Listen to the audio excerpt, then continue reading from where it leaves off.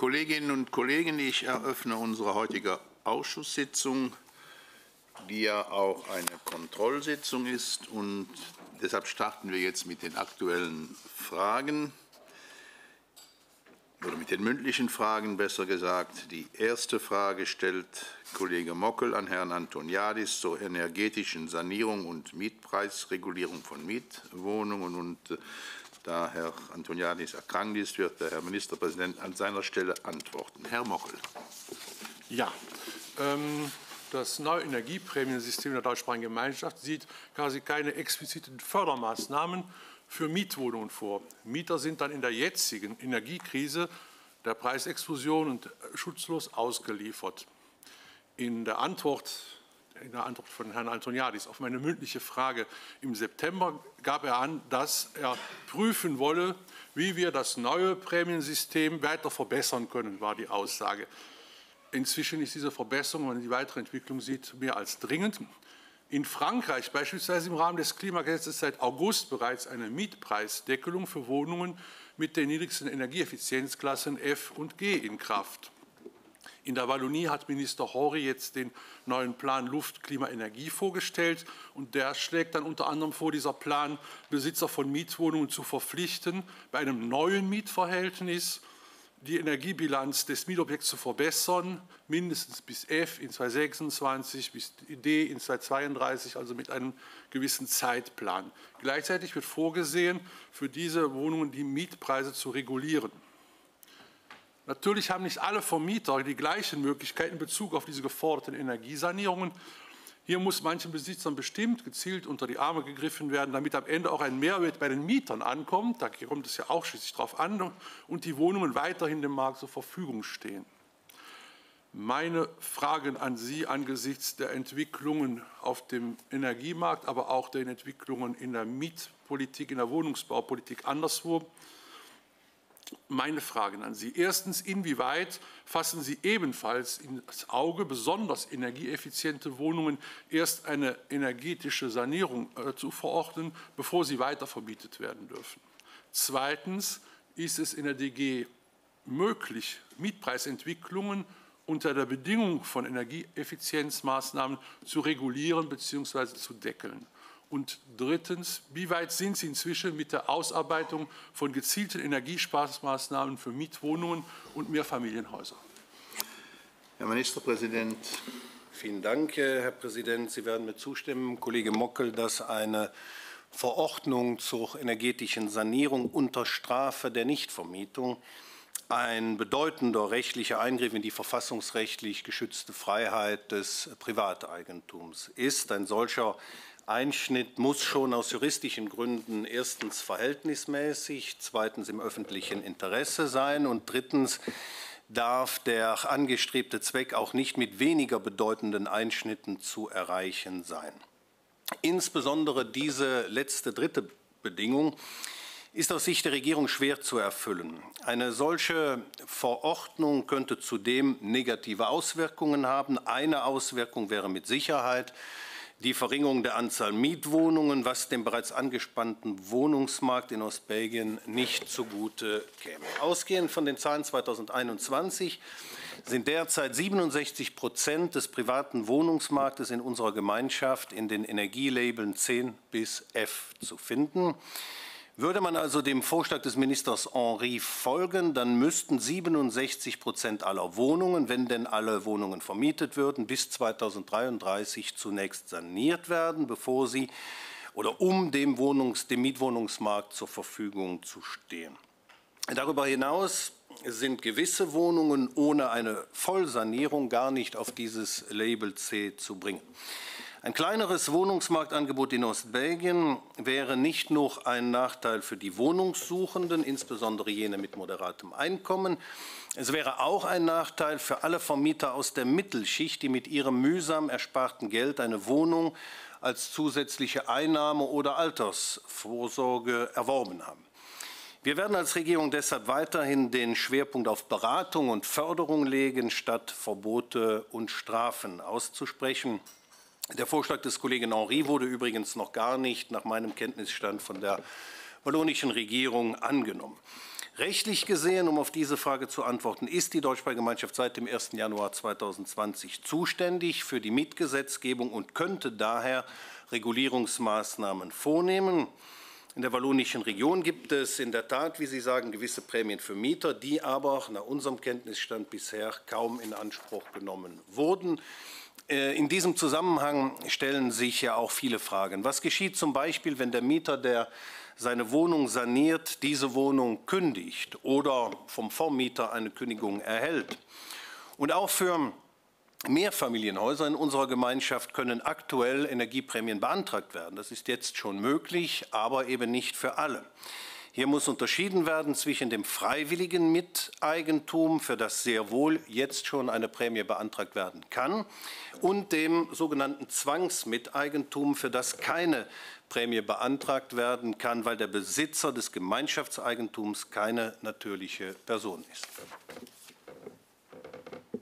Vielen Dank. Hat der Fragesteller noch eine Wortmeldung vor? Das ist der Fall. Bitte schön. Ja, ich stelle erstens mal fest, dass die Regierung also nicht vorhat, nur irgendetwas zu unternehmen oder zu ändern an ihrem bisherigen Kurs in der Sache. Ich denke, wir sind aber in einer Situation, wo die Leute, die mieten, die nicht zu der Mittelschicht eben gehören, die noch zusätzlich ein anderes Haus haben, vor einer Situation sind, wo einerseits die Energiepreise steigen und andererseits äh, es äh, sehr wahrscheinlich ist, dass auch die Mieten dementsprechend weiter steigen und dass auch vor allem, wenn das Leute mit niedrigem oder mittelniedrigem Einkommen sind äh, und die dann auf einmal manchmal sogar vierstellige Summen im Monat leisten sollen für ihre Energieversorgung, äh, das nicht werden können. Und äh, da muss, denke ich, schon die Regierung eine Wahl treffen. Da denke ich mal, an der jetzigen Situation sind wir sehr wohl in einer Situation von Verhältnismäßigkeit.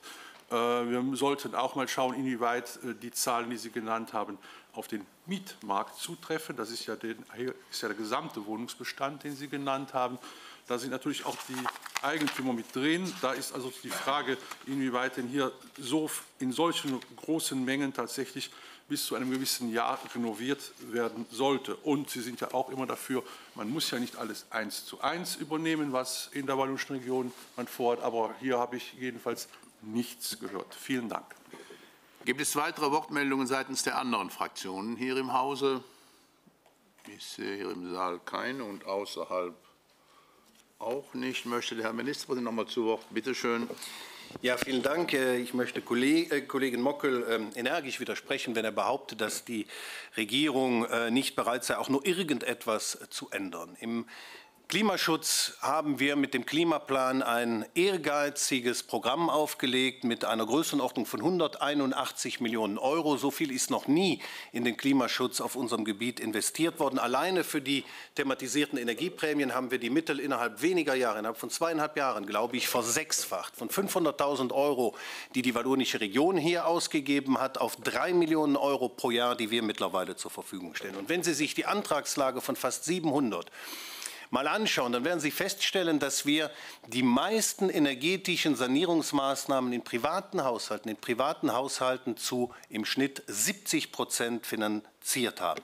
Und ich erwähne dabei gar nicht die Anstrengungen, die wir uns für den nicht kommerziellen Sektor und, und gemeinnützige äh, Einrichtungen noch äh, vorgenommen haben. Die Mieter möchten wir gern unterstützen. Wir möchten den Mietern helfen und wir erkennen auch, dass sie mit gestiegenen Rechnungen bis an die Grenzen ihrer Möglichkeiten gebracht werden und ähm, wir auch in der Mittelschicht Menschen erleben werden, die nicht in der Lage äh, sein könnten, ihre Energierechnungen zu bezahlen. Die Frage ist nur, welche Instrumente stehen unserer Gemeinschaft zur Verfügung, um den Mietern zu helfen? Ist die Energieprämie da wirklich der richtige Weg? Denn wenn Sie das mal umrechnen auf eine reale Situation, dann werden Sie feststellen, dass über die Energieprämie der Mieter in fremden Eigentum Investitionen tätigen müsste. Das würde dann natürlich, das würde dann mit 70 Prozent bezuschusst Beschluss nach dem jetzigen Eigentümersystem. Aber was ist mit den anderen 30 Prozent und was geschieht, ich habe es eben schon gesagt, in dem Fall, wo der Mieter seine Wohnung irgendwann kündigt und vorab Geld in dieses äh, Eigentum einer anderen Person investiert hat. Und abschließend, Sie sagten eben, man muss die Beschlüsse der wallonischen Region nicht zu 100 Prozent übernehmen, mag sein, aber ich erinnere daran, dass der Vorschlag von Minister Henri von der wallonischen Regierung noch gar nicht beschlossen wurde. Genauso wenig übrigens wie sein Vorschlag, die äh, Geschwindigkeitsbegrenzung auf Autobahnen auf 100 Kilometer zu begrenzen. Vielen Dank. Gibt es noch eine weitere Wortmeldung von Herrn Mockel? Bitte schön. Ich möchte erst einmal festhalten, dass viele Vorschläge in dem Plan auch äh, auf Basis der Vorschläge äh, von einer von der gesamten Regierung eingesetzten äh, Expertenriege äh, entstanden sind, inklusive der 100 km/h. Und man hat die erstmal übernommen und will es diskutieren. Das ist aber nicht mein Punkt. Mein Punkt ist hier und hier ändert sich für Mieter nichts. Sie sind übrigens auch auf dem Holzweg. Äh, es geht nicht darum, dass Mieter äh, in das Mietobjekt ihres Vermieters investieren, sondern es geht darum, dass Vermieter in ihr Mietobjekt investieren und ein Teil äh, dieser Investition, wo es vor allem in Energieprämien gibt, dass sich das auch in, einer, in, dass sich das auch in den Energieverbrauch und in den Mietpreis niederschlägt. Das ist, das ist der Weg und dazu habe ich heute nichts gehört. Ich habe davon geredet, was man für die Mieter in den nächsten drei Monaten tun möchte und Sie antworten mir äh, mit dem Klimaplan, wo vieles überhaupt erst noch angegangen werden muss. So, dann haben wir die Sache auch geklärt für heute und wir kommen zur zweiten Frage und die stellt, glaube ich, ebenfalls Herr Mockel, jawohl, und zwar dann jetzt an den Ministerpräsidenten direkt zur Erhöhung des Baremas des Generalsekretärs des Ministeriums, der DG, sowie zur Entwicklung der Entschädigungen der Mitglieder der Regierung. Herr Mockel. Ja, äh, nach der Ankündigung der Einsparungen bei der Gemeinschaftsverwaltung äh, in den letzten Tagen gaben Sie auch äh, dann im Anschluss im BAF am 20. September ein Interview. Und in dem Gespräch wurde die Erhöhung der Gehaltsbarem der Fachbereichsleiter, aber auch des Generalsekretärs erwähnt. In der juristischen Datenbank aus Wegen Live sind die Gehaltsbaremen in der, äh, in der, der jetzigen äh, Fassung des Erlasses, das ist der Basiserlass, vom 17. Dezember 1996 einsehbar, mit, einige, mit der Ausnahme einiger Baremen, wie ausgerechnet das des Generalsekretärs, es ist aber offensichtlich einfach auf einen technischen Fehler zurückzuführen. Denn auch, aber auch im Staatsblatt, das ist ja eigentlich dann die gültige Fassung, enthalten die beiden letzten Änderungen dieses Erlasses äh, nicht die vollständige Baremenauflistung. Und dann auf der anderen Seite die bisher einzige explizite Bestimmung zur Festlegung der Entschädigung der Minister in der DG ist, jedenfalls die auffindbar war, in einen Regierungsbeschluss, der am 11. Oktober 2001 äh, gefasst wurde. Und dieser legt fest, dass das Gehalt der Minister dann ab dem damals 1. Juli 2001 120 Prozent des Gehalts des Generalsekretärs entspricht, äh, entsprechend dann diesem Höchstbarema 1,12. Dementsprechend hätte ich folgende Frage. Erstens, durch welchen Erlass wurde das Barema der Stufe 1 inklusive eben des Generalsekretär Baremas 1,12 zuletzt angepasst. Zweitens erhöhten sich seit 2019, also diese Legislaturperiode, entweder aufgrund der Erhöhung äh, oder Änderung des Baremas des Generalsekretärs oder aufgrund einer irgendeiner anderen Bestimmung, natürlich abgesehen von den Indexierungen, die Entschädigung der Mitglieder der Regierung der deutschsprachigen Gemeinschaft. Herr Ministerpräsident. Vielen Dank, Herr Präsident. Ja, der Regierungsbeschluss aus dem Jahre 2001 ist immer noch gültig. Und das bedeutet, dass die Minister der deutschsprachigen Gemeinschaft heute noch genau 20 Prozent mehr verdienen als der Generalsekretär des Ministeriums mit maximalem Dienstalter. Wie alle Gehälter hat sich selbstverständlich auch das Gehalt des Generalsekretärs im Laufe der letzten 20 Jahre, also seit 2001, durch Sektorenverhandlungen und Reformen verändert, zuletzt im Jahre 2017. In den letzten 20 Jahren sah die nationale Gehaltsnorm zusätzlich zur automatischen Lohnindexierung eine durchschnittliche Erhöhung der Gehälter in Belgien um 1,2 Prozent pro Jahr vor. Das Gehalt des Generalsekretärs ist im selben Zeitraum aber durchschnittlich lediglich um 0,65 Prozent pro Jahr gestiegen, also gerade einmal um die Hälfte. Sie haben aber recht, Kollege Mockel. Infolge des Verwaltungsaudits hat sich die Regierung im Juli mit den Gewerkschaften auf eine weitere Reform verständigt. Wir werden, Sie wissen das, die Führungsebene des Ministeriums drastisch verschlanken. Und im Zuge dieser Reform muss eine neue Gehaltstabelle für den Generalsekretär eingeführt werden. Und dadurch würden sich die Ministergehälter tatsächlich Ende Oktober erhöhen, wenn wir den Beschluss aus dem Jahre 2001 denn beibehalten. Ich kann Sie aber alle beruhigen, wir werden den Beschluss aus dem Jahre 2001 zur Festlegung der Ministergehälter rechtzeitig abändern. Die Regierung verzichtet auf diese Erhöhung. Die Ministergehälter werden durch diese Reform nicht erhöht. Wir werden den Unterschied zwischen dem Gehalt eines Ministers und dem Gehalt des Generalsekretärs vor Ende Oktober entsprechend verringern. Und wie Sie wissen, sind wir gerade dabei, den Haushalt für das kommende Jahr auszuarbeiten. Ich kann Ihnen versichern, dass wir jede einzelne Haushaltszuweisung durchforsten, nicht zuletzt um unsere Zuschüsse an die Seniorenzentren im Jahre 2030 noch einmal erhöhen zu können. 23, ja. In zwei Wochen werde ich diesen Haushalt 2023 bekanntlich vorstellen. Ein Ergebnis dieser Durchforstung nehme ich wegen Ihrer Frage heute schon vorweg. Wir haben beschlossen, die Ministergehälter zu kürzen. Wir verzichten nicht nur, wie ich eben sagte, auf diese Erhöhung, nein, wir werden die Ministergehälter darüber hinaus real um 8 Prozent kürzen. 8 Prozent das entspricht der Summe aller in diesem Jahr bereits erfolgten automatischen Indexierungen.